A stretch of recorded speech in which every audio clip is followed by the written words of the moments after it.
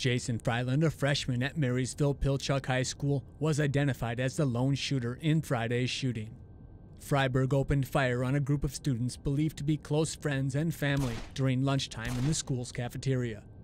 He put some bullets in the backs of students, Jordan Luton told CNN. He turned and looked at me and my girlfriend. Students were screaming and running from the building for safety. Other students took cover in classrooms. Fryberg then made his way outside and fired several more times. The gunman killed one student and wounded four before he turned the weapon on himself and took his own life.